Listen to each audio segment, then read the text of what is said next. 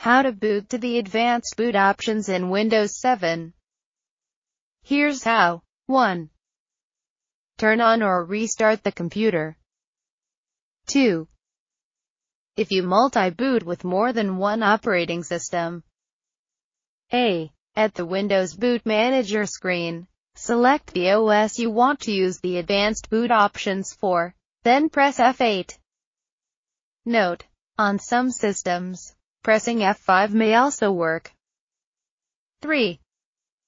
If you only boot with one operating system, X, Windows 7, A, press and keep tapping the F8 key about every second. Note: If the Windows Startup logo appears, you will need to repeat steps 1 and 3 again. If you dual boot, then you will need to select the OS you want to use the advanced boot option for, and then press F8. On some systems, tapping F5 may also work. 4. Use the arrow keys to select an advanced option to start Windows 7 into and press Enter.